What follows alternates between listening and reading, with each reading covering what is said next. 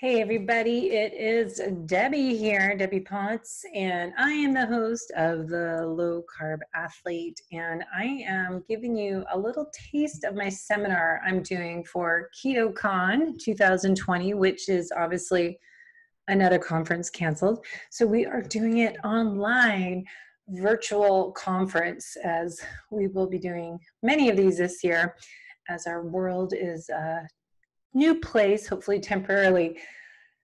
And I just really feel at this time we should be working on the stuff we're talking about today training the low carb athlete to improve fat loss, athletic performance, and longevity as we are really responsible for our own health, taking charge, taking ownership of our health and wellness.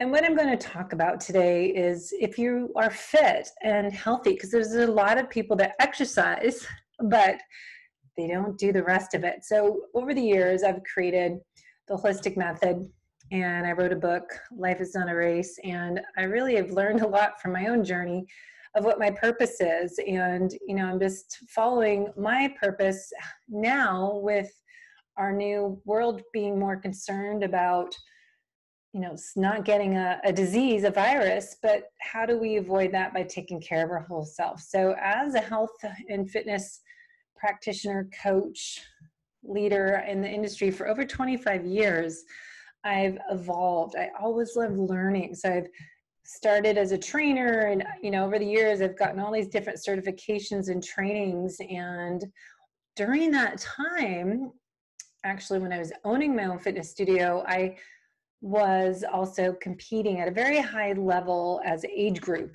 triathlete cyclist and runner or the i can't say cyclist because I, I, don't do cycling uh, crit races but i love endurance events. And i found that you know exercise is, is one thing of one part of being healthy.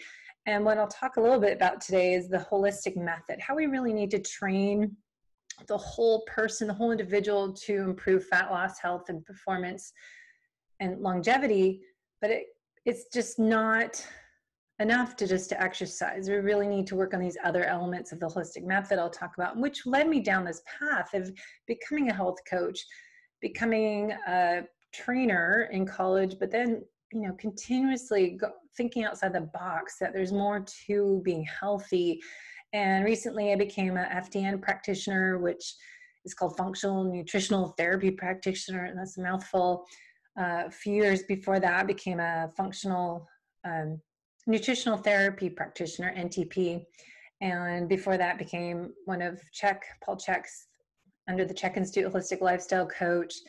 And years before that, I've always been a personal trainer and triathlon coach and um, done Ben Greenfield's program Superhuman and Kion and into genetics. I, I want to learn more. I became uh, DNA Fit has a program to interpret their data with clients. I'm a DNA Fit coach and want to do more of that next year with some other programs as Dr. Ben Lynch.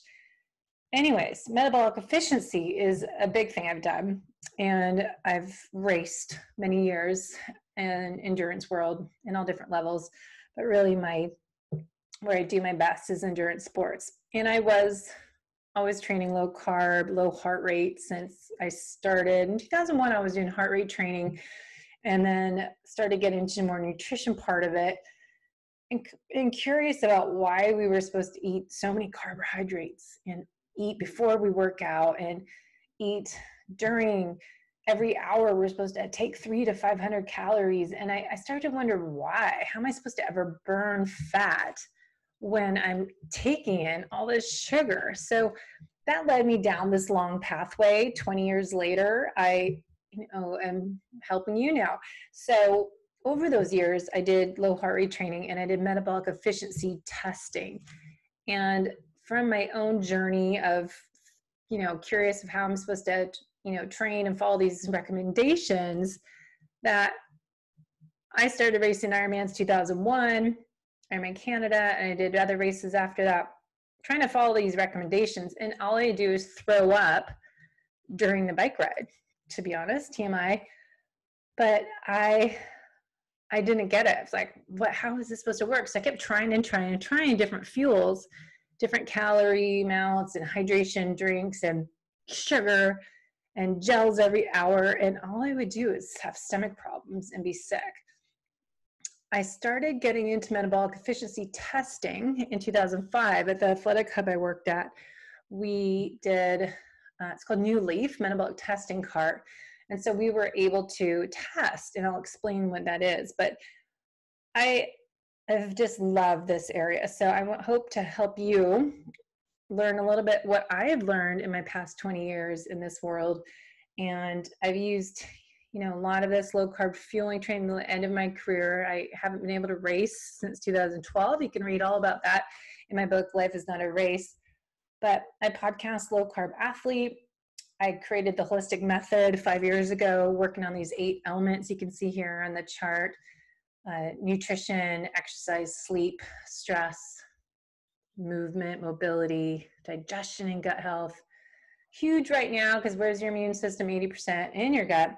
Hydration, and my favorite, happiness and play. Because a lot of us are type A, type AAA, and we get a little too serious and need to chill a little more. So, happiness and play and laughter is key.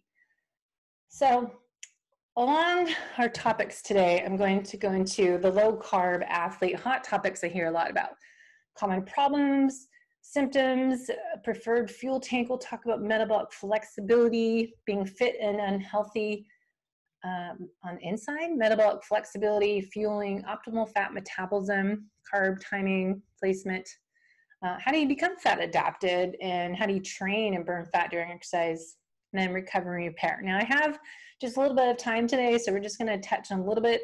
I did uh, plan on making a part two video for you and then I'll take all these slides and I have my assistant make them into an ebook. So if you head to debbiepotts.net, I'll give you the uh, code where you can enter in uh, the KetoCon conference slides and soon you'll be able to get an ebook copy of it. So uh, let me stay here for a second, but these pictures here, low carb, we all know about, that's why you're here, you're curious, you might be low carb already, and then I can't actually hear what you're asking your questions, but you can message me what your questions are later.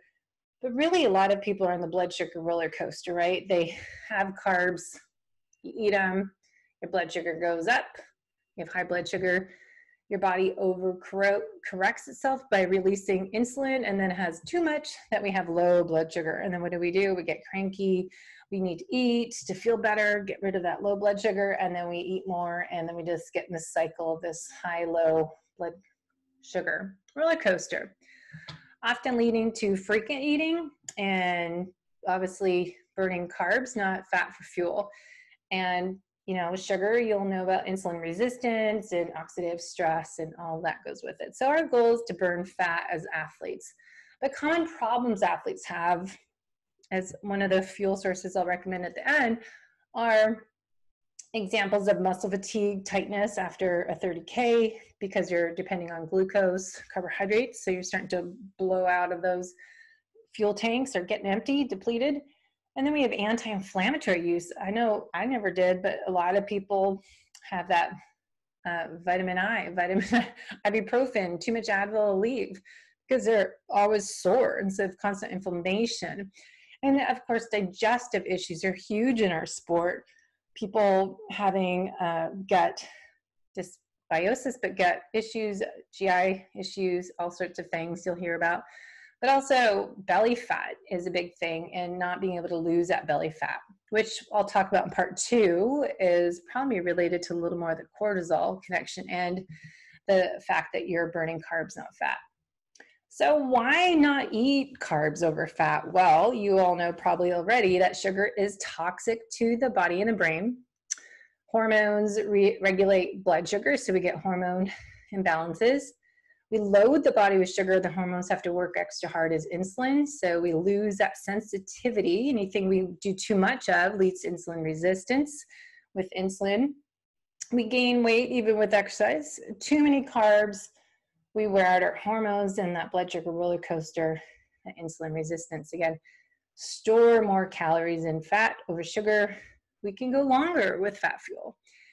And training the body to burn fat or burn carbs over fat fuel. So we want to not be carb dependent, we want to be fat dependent.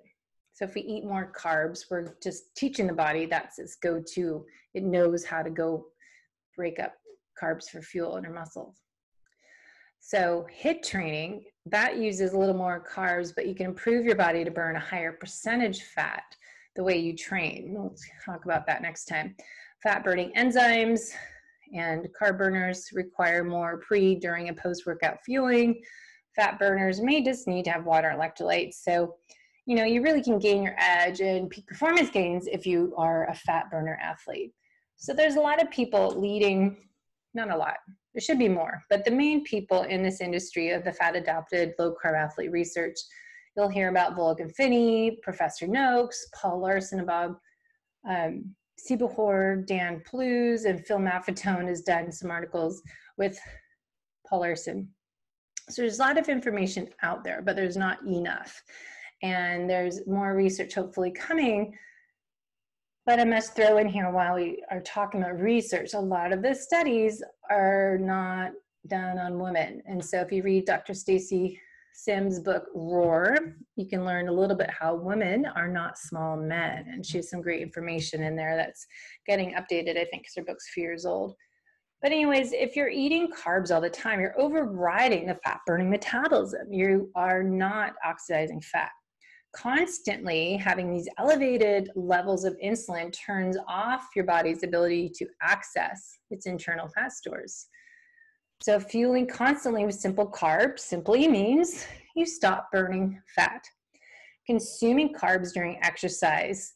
Peter Attia says putting paper on the fire first, preventing you from burning the logs. And I like the image of kindling versus the big fat log. What burns slowest? The log. And so that makes sense. Putting the paper on the fire just going to burn that fire, fire paper on the fire and then you have to keep adding it unless you get the log burning. High fructose corn syrup, rice, pasta, bread. That's what people probably still do. They think they have to carb load before a workout. And then they refuel post workout with more carbs. You don't need to do that when you are a fat burner. Constantly elevated insulin levels with consuming simple carbs that require constant refueling, activating the blood sugar roller coaster as sucrose and fructose. High carb intake turns off the fat burning stores, right? So Peter Attia is a, a, great person to follow. And if you really want to dive into research and N equals one studies, he's done a lot of exercise, endurance exercise with just taking bouillon uh, soup breath to get that the sodium and water and he can just go. Because really what we should be striving for as endurance athletes being on dependent on the fat tank over the glycogen tank. Look at the difference. You know it's it's obvious intuitive but it's not because of marketing and the misinformation we get out there. Because the big companies aren't going to make money if you're eating less right? So same thing with teaching us how to improve our immune system. They're not going to tell us eat real food, do some intermittent fasting to get your vitamin D and get outside and get fresh air and get your exercise in. And same thing here. That you got to look at who's telling you this information. And regarding the low carb athlete, we want to be burning fat. We don't have to eat as much. We don't have to get all those gels and sugary drinks.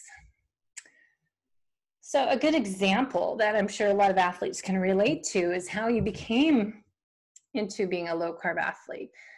This person that founded S Fuels, Layton, and he said in 2013, off season, he reduced his miles by about 90%, took out the grains, the sugars, the bread, the pastas, the juices and rice, all that stuff, and he replaced that with good quality fats and low glycemic carbohydrates.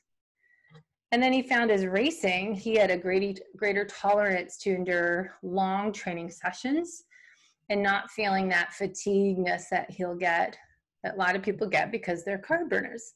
So every time he didn't need the anti-inflammatory medications, his gut distress was gone and his recovery from workouts sessions were easier, faster.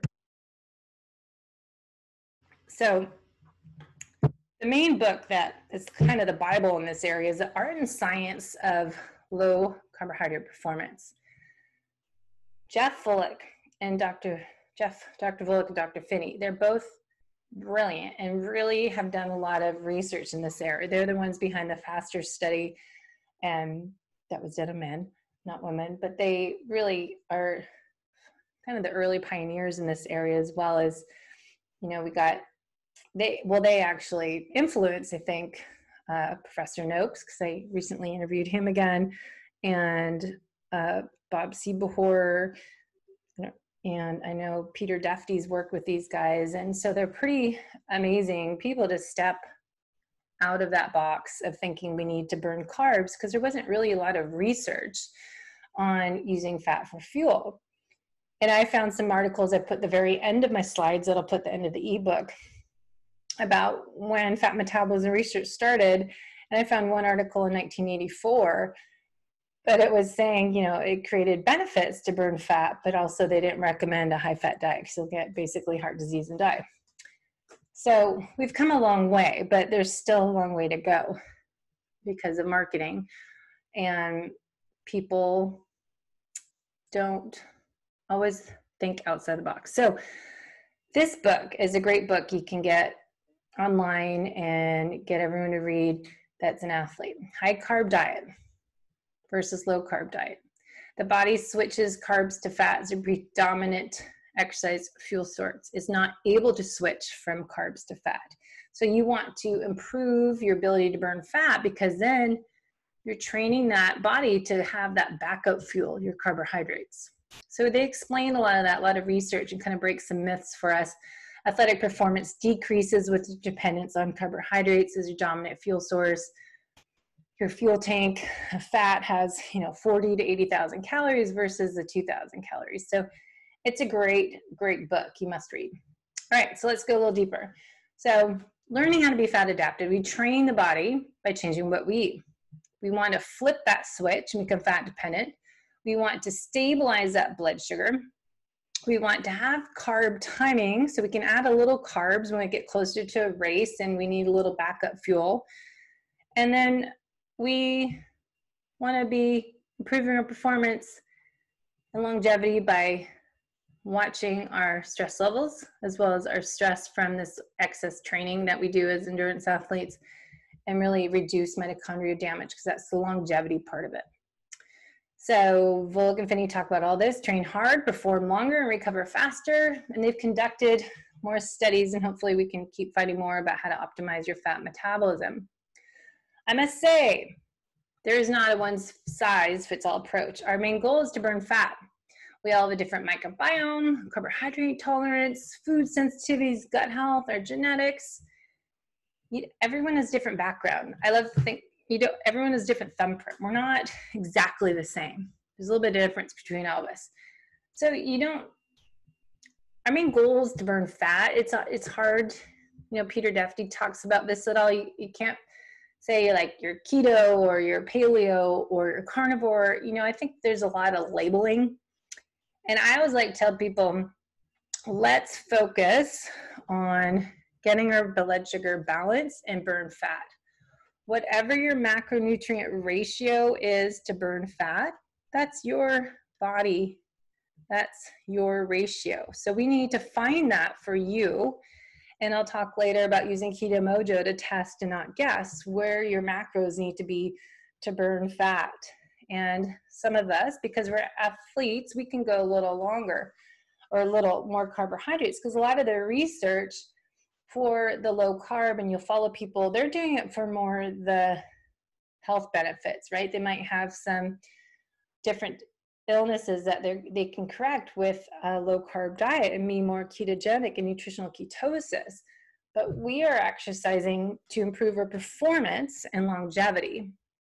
So we want to look at, you know, what our body needs to burn fat as our main fuel source. Hopefully you don't have health issues because then maybe you need more, more strict if you have uh, some other things going on.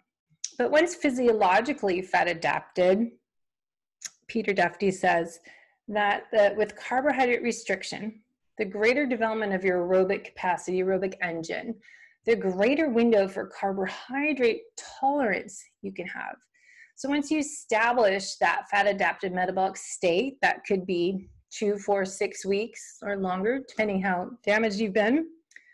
The base of what he calls the optimal fat pyramid, OFM, can then you can build your aerobic engine to its potential and you can actually tolerate some carbohydrates concentrated carbohydrates in both your diet and fueling so you can get that performance punch of carbs like that extra rocket fuel so we'll talk about this a little more later but i just want to throw this slide in first. So everyone's a little different how they need to burn fat.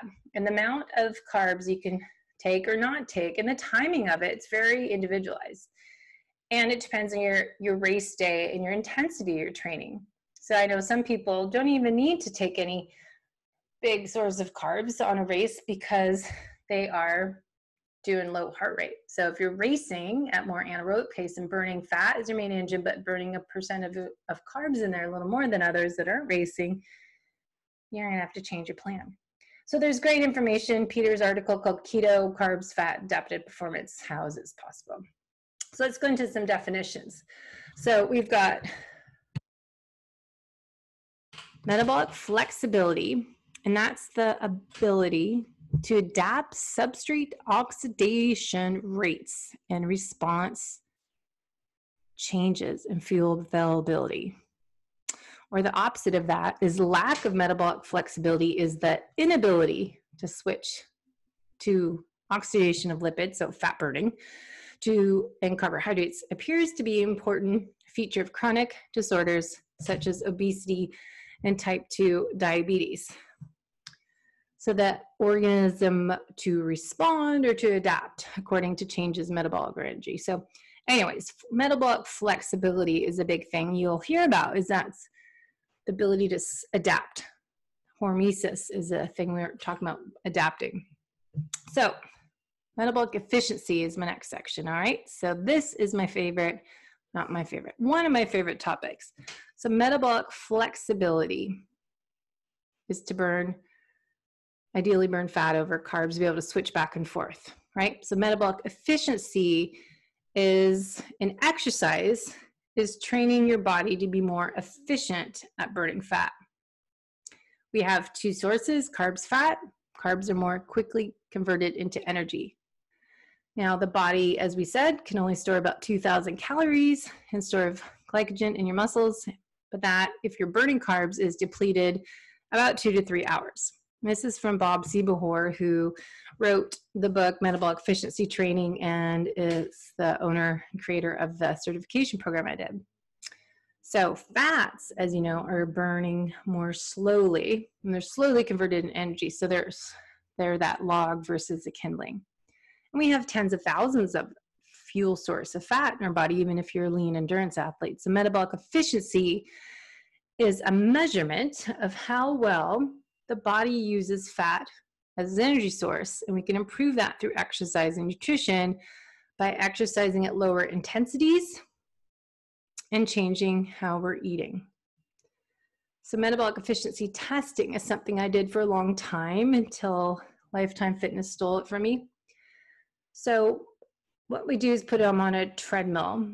And so say you're running, what we're looking at here is your metabolic crossover point, the percentage of carbohydrates where it starts to increase and the fat amount starts to decrease. And the more you train in what we find through testing your fat burning optimal ranges, or we'll talk about Maffetone method next, max aerobic function, that you'll be able to move this level up. So we have a limited amount, as we said, we're able to preserve our muscle glycogen for higher intensities. So we're, the goal is to move that number up higher so we can be burning more fat at higher percentage. So that's metabolic efficiency point that we would do in testing and then teaching the client how to get their body to burn more fat and depend less on carbohydrates and then you have less gut distress nausea diarrhea gas bloating now i found one company called on your mark nutrition.com that does some testing. So if you can look online who does metabolic testing near you you might be interested in that and as an athlete because it gives you tons of information on where you should be training to burn fat. So metabolic efficiency to burn fat is not just how you train. You must work on your nutrition. But I must add the WHOLESTIC Method, there's a reason I created it. You can't just work on eating real food, being low carb, and training at low heart rates and training your body burn fat and doing interval training, as we'll discuss it later, after you've built that base. You have to work on the stress, the mobility, digestion, gut health, hydration, and, and the gratitude, happiness part. So that all is important part of this, becoming a fat burning. Results during sub-maximal testing, another example of metabolic testing, improving the body use fat for fuel, a sugar burner versus a fat burner. So training benefits, you'll see you're able to burn a higher percentage of fat, longer duration. So I think this is the minutes during exercise and the percentage of fat that they're burning. So definitely a high carb diet versus a low carb diet. And remember the training benefits, 75% nutrition, 25% exercise improve, improve that metabolic efficiency. So Maffetone is someone you might have heard of too. He wrote 35 probably years ago, the Maffetone training, what's his book called? Endurance training he trained one of my my main triathlon coach was Mark Allen, and Maffetone was part of Mark's success of running multiple Ironman Hawaii's because they were training at low heart rate at what's called now the MAF, max aerobic function, and training that body to burn fat as your main fuel source is much more efficient and less stress, as we said, and less GI stress but in Ironman, we have a swim 2.4 miles, we go bike 112, and then we run 26.2 miles somehow. I don't know how I ever did them, but it is a lot of mental work and training at that lower heart rate where you can burn mostly fat. So getting off that bike and going to a run, you're not trashed. So this is something over the years that Maffetone created recently, actually, seven signs of burning fat obviously, you know, if your clothes are fitting more loosely around the waist, if people ask you if you're losing weight, that's obvious ones. But improving your performance, your energy is better, you you know, don't get as fatigued, mental energy focus, that's a big part. Depression is reduced, uh, training and racing improving. You can do a MAF test, see if you're improving your pace at that Maffetone max aerobic function heart rate we'll talk about. So there's seven signs you can go into there later on my slides, but just think about the nutrition and exercise. What he looks at is, you know, the inflammation, the vitamin D, your folate, and limiting your carbohydrates, exercising that aerobic engine, and then they got the stress, the brain, and that says aging. Okay, so are you storing too much body fat? So here's some good tips Maffetone had on his uh, an article I was reading signs and symptoms that you're poor fat burner consumption of refined carbs body fat above normal frequent fatigue blood sugar too high or too low frequent hunger risk for chronic disease family history race performance plateau or the MAF test we'll get into you just are not improving so the MAF method is max aerobic function and it's it just is where you're burning, training the body to burn fat. So lower intensity exercise occurs up to a point where the body's use for fat for energy peaks. So he calls it fat max. After which sugar consumption quickly rises and fat lowers with higher intensity exercise.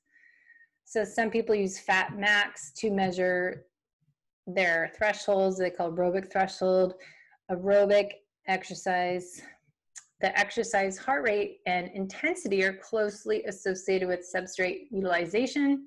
So what fuel source you're using, metabolic activity, you know, looking at your stress hormones and what level of intensity the lactate production increases at higher heart rate and higher intensity. So the max MAF heart rate is defined as aerobic, so air, T, and fat max. So he'll, explain more. So the MAF method helps improve your aerobic engine, right? So we've got the MAF heart rate 180 formula. So let's just skip over to it. So, track your age from 180, and then you decide, all right, you're going to subtract additional 10 if you are recovering from a major illness.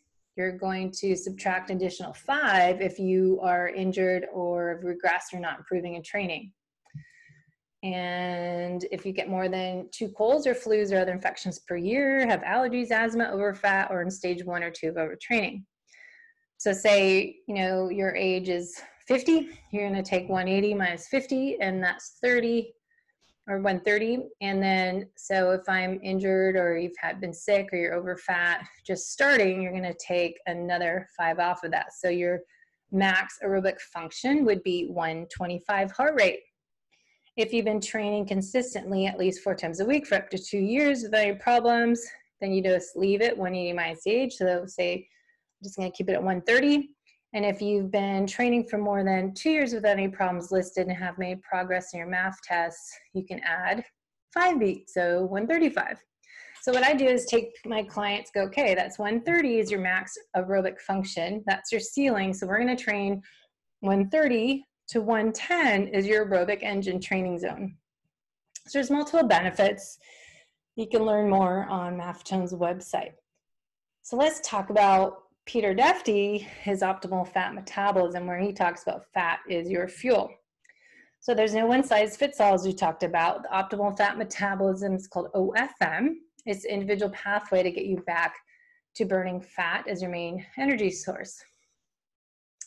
Now, OFM is kind of the base on nutritional ketosis, but it's just kind of a platform. Then we can add adjustments, micro adjustments to it. But there's common challenges if people are too keto or too high carb. So that's why we have to look at bioindividuality because we're all unique individuals. So the common challenges either way. If you're not paying attention to yourself, you might find that you have less optimal dietary choices because you're too rigid nature in both regimes, regimens. Bonking, typical with high carb, but also you'll hear people that eat too low carbs for athletes. High intensity performance levels, typical with keto, but also can occur with high carb. GI issues can happen for keto and high carb produce GI issues during exercise. So people that are trying to do MCT oil and exercise might not do well and have that disaster pants when they're racing, not so good. And then there's post-exercise soreness and perhaps adrenal stress. And if you listen to my part two or the ebook I'm putting together, I find, well, my book, Life Isn't a Race, you'll learn all about my personal story. But I think I was doing too low of carbohydrate and too much fasting. And that added extra stress. And when you're exercising more than 40 minutes, 45 minutes, that's additional stress. So your beaker of stress, I'll talk about next seminar, overfills your bucket and we've got too much going on that's overworking the stress HPA axis. So the FM pyramid is going to be more individualized to optimize your performance for you as a unique individual. So they say you can smash your PR, eliminate GI issues, eliminate bunking, hitting the wall, and you know recover so much faster, reducing, eliminating injuries, and turning back the aging process, take back your health. Oxidative stress, remember, comes from exercise, comes from eating carbs, sugars, and that damages the mitochondria, mitochondria, aging, longevity. There's a, pattern going on. So we want to take care of the whole person. So FM pyramid, you can see here, fat adaptive metabolic state, nutrition, not calories, stomach and gut health we want to work on, training and lifestyle, hydration, Vespa, Peter is involved in, and I am having a Vespa 30 day challenge coming up for my running once I get my distance up again. And strategic carbohydrates are placed when you need them in a higher, longer duration workout, higher intensity. So, training to be a low carb athlete. Now, yes, we want to train those slow twitch muscle fibers. We want to get the mitochondria, that's where we're going to burn that fat. We want to avoid overtraining and under recovery by avoiding that black hole and having the mantra of no pain, no gain, training above the fat burning ranges, that max aerobic function, or if you get a metabolic efficiency test, you'll know specifically what your heart rates are for you, but they result in not training the slow twitch muscle fibers. Training to the slow twitch muscle fibers over time with the right mix of training intensities. So Paul Laursen and Maffetone talk about that. Paul Laursen's done a lot of research on HIT training, H-I-T, H-I-I-T, high intensity interval training for athletes. Food is big, right? We know food about being low carb to burn fat, being ketosis, but how do you apply that to being an endurance athlete? Metabolic flexibility, burning fat and sugar. We, we need that fat tank, but we need to be able to depend on that backup fuel tank, that rocket fuel you need at end of a race. If we depend on burning carbs and deplete limited supplies of glycogen storage instead of the slow burning fat, we can lead to compromised health issues. And this was research article Dan Plews and Laursen did, Paul Laursen, that you will follow if you are into the low carb athlete research. But they wrote an article in 2015 about rethinking the role of fat oxidation. So that was a, a great article to look up. So back to OFM, you're, when you're training the body to burn fat, your optimal fat metabolism, you are improving physical performance, faster recovery, improved health, you know, all these great benefits we talk about, right? So how do you do it? Well, let's go. Key tips. Dr. Cate Shanahan's another one that's great to follow and learn about. She's big into um, impact on my books, but uh, vegetable oils and avoiding oils. She's worked with a lot of athletic teams as the Lakers she worked with and got them on bone broth and taken out all their processed foods and vegetable oils and refined carbohydrates.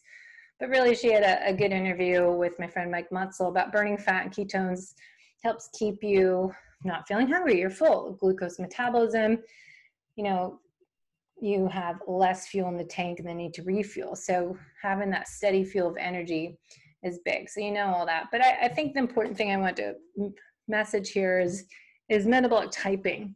If you are a slow, fast, or mixed oxidizer, some people can tolerate a little more carbohydrates, and that's based more at a cellular and genetic level.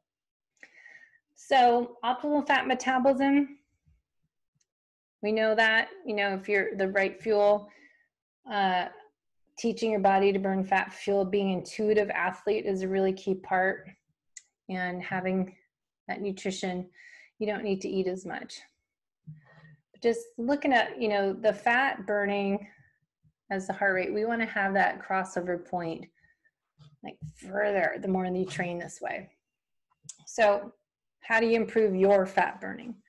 Well, it depends. We're all different. Start with you know, eliminating the refined foods, inflammatory foods, grains, vegetable oils. Avoid the high carb intake before uh, big workouts. Try some fasted workouts in the morning if they're shorter. And the goal, remember, is to shift the body's metabolism to fat burning and reducing those carbohydrates and replacing them with good fats. And, you know, eating some sweet potatoes or some Vespa or some UCAN, you know, we'll look at that. Fasted workouts with a little coffee, maybe some MCT oil and some um, creamer sometimes works for people. Other tips are uh, for fat burning in general, strength training is really important. Pre workout or fasted workouts in the morning, standing up after your meal instead of sitting, help that body digest and move around. Implementing more herbs and spices and adding more fiber, apple cider vinegar, fasted workouts, vitamin D, cold thermogenesis, and lots of great tips on my website. So this is from Ben Greenfield and uh, Microbiome Labs has some good information too on getting the body to burn fat. Fat is your fuel. And I want to wrap up with testing and not guessing. I'm going to finish up what fuels we can have. So test and not guess is what I do as an FDN practitioner. I have my clients do nutritional therapy assessments, but really looking at are you eating the right food for your body? Do you have food sensitivities? Do you have leaky gut? Do you have balanced blood sugar? Using Keto Mojo is a simple thing you can do. Uh, hormone balances, we use the Dutch test and GI map and check out your liver detoxification system and it gets overloaded. So we really want to test and see if you're working at optimal levels. So I'll finish up with what to eat and n equals one. I always talk about eating is what, how, when, and why. So practice, you know, experiment, look at your reports. It's not a diet, it's make it sustainable.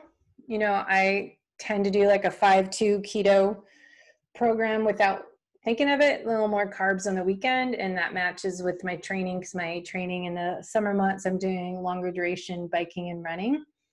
And my body can tolerate a little more carbs if it's, you know, a little more like cauliflower, Brussels sprouts. Maybe we'll have um, some sweet potatoes, something like that, some potatoes with some grass-fed butter, but I always have it with butter because I like, I have to balance my blood sugar else I get headaches. So there's some different tips there, but really just balancing your blood sugar by eating based on your metabolic type and feel full, satisfied for hours. So everyone's different. If you're racing and fueling, it's gonna be a little different as well. So Generation UCAN, there's S Fuels, Vespa, F Bombs. Uh, the Vitamin Club is really good. Electrolytes. Kion has really good aminos. I like athletic greens. I like to do bone broth, macadamia nuts, avocados, or chia seed pudding. I do a lot with almond butter. And you know, working on carb timing, we can talk about another time. You know, how you start placing a little more carbs, train low, when you're building that base without carbs and then when you're starting to race and add more intensity can kind of play with that. My friend stephanie has a great article in her ketoendurance.co periodized nutrition article. And then vespa has some great information on adding a little fuel. Vespa just helps you burn more fat. So that's another way to get more fat. And then there's s fuels has another fuel source. It's, it's not you know, a lot of calories is just getting the glutamine helps your gut and gets electrolytes. It doesn't have all the sugars, just some good healthy fats and protein, the collagen. So I really love S Fuels as well. And they have a, a train and then they have a race product and they have new bars out. And then another favorite is Generation UCAN. That's a slow release carbohydrate. And we've done some podcasts with them. And that's a great one I used when I was racing and I just had a bottle of UCAN and a bottle of water with electrolytes, and that's all I really needed for marathons, 50K, trail running, and uh, Ironmans. I'd have an end of Ironman, I do kind of have a Coke for my carb timing at the end when you're exhausted. You need a little something, that flat Coke works magic. So that is all I wanted to talk about today. There's so much to go down, different rabbit holes, but really training the whole you is important. The eight elements holistic method, nutrition, exercise, sleep, stress, movement, digestion, hydration, happiness, and play, gratitude, laughter is all important part of my coaching program. And if you want to know more, I do a FDN health detective type of work that's 90 day program or longer. Most people need six months if you have a little more health issues, we do coaching calls each week and you know work on training peaks. And sometimes i just do a 30 day program with people to assess their nutritional therapy and their fueling and their racing program.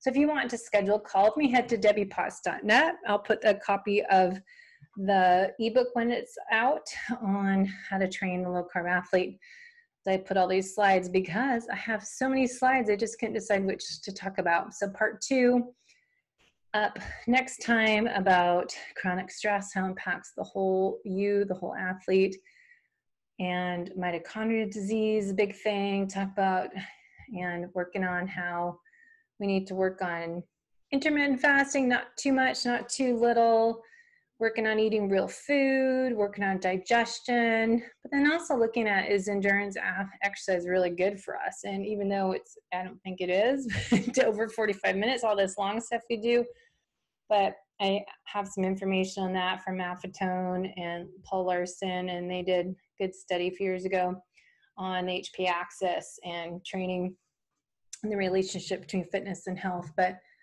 that is what I want to share today. Really, I know you want to know about how to train as low carb athletes. So, you know, look at the holistic method and hopefully that can help you make sure you're not just focusing on nutrition and exercise, but you're working on that sleep. That's when your body recovers and repairs. And, you know, you have to look at really hydrating, getting your electrolytes, putting sea salt in your water, making sure you have time with non athletic friends, that you're doing some fun stuff.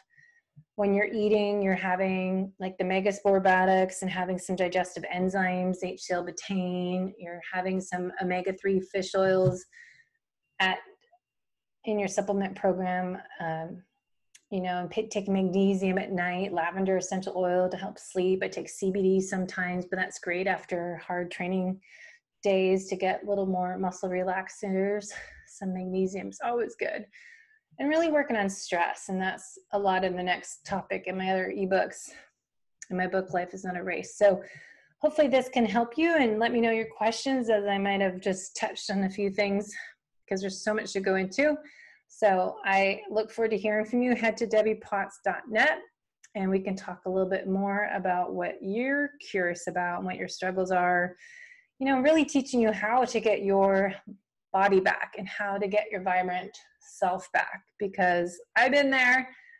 I went down this journey in 2013. I was doing everything we're talking about. I was doing low carb, I was doing fasting, I was training at low heart rates, doing speed workouts lifting weights, doing yoga. But you know what? I was doing too much, too much of everything. Getting up at, you know, before four in the morning and not stopping until nine at night. So that's why I say, you know, my book's called Life is Not a Race and how I was racing from the time I woke up until I went to bed at night. And really, I'm trying to help all of you avoid going through what I had happened starting 2013. Now it's 2020 and I still haven't been able to race because I'm always working on healing everything that got broken. So avoid getting to be that broken and burned out athlete by training smart, training the, with the holistic method. We want to address all those issues, the eight, eight elements, not issues, areas of opportunity you need to find out, do nutritional therapy, and really, I strongly believe in lab testing, functional lab testing. Get the GI map test, organic acids test, the Dutch hormone panel, leaky gut test. You can do vibrant wellness, food sensitivities. I can you can order these through me if you do the coaching program, but you have to work with a practitioner to order them. So let me know. This is what I'm doing. This is what I love to do, and I'm here to help. So join my journey and I hope to talk to you soon. Okay, debbiepotts.net and you can find us on Facebook, Low Carb Athlete, and YouTube and Instagram, The Low Carb Athlete. See ya.